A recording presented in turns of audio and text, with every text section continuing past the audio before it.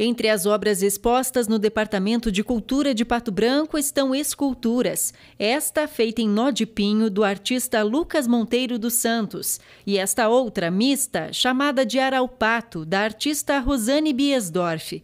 Telas também estão sendo expostas e obras que utilizam a técnica de risografia. Todos os trabalhos foram realizados por artistas que receberam o incentivo da Lei Aldir Blanc. Nós tivemos aqui escultura, macramê, né, óleo sobre tela. Essas obras, inclusive, elas eh, ficam para o departamento e elas vão rodar para outros setores, escola, é, prefeitura, enfim, ela está nesse momento aqui exposta no departamento, mas ela vai rodar essa exposição. Em contrapartida, tivemos os cursos também, né?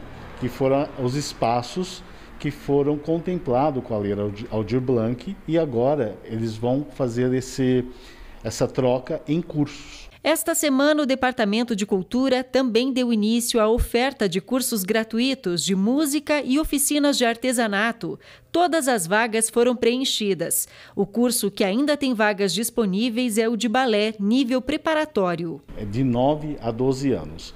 E para fazer a inscrição já para o balé, você tem que vir até o Departamento de Cultura para garantir a sua vaga, que também é limitada e trazer os documentos pessoais dos pais, né, o responsável, da criança e a carteira de vacinação.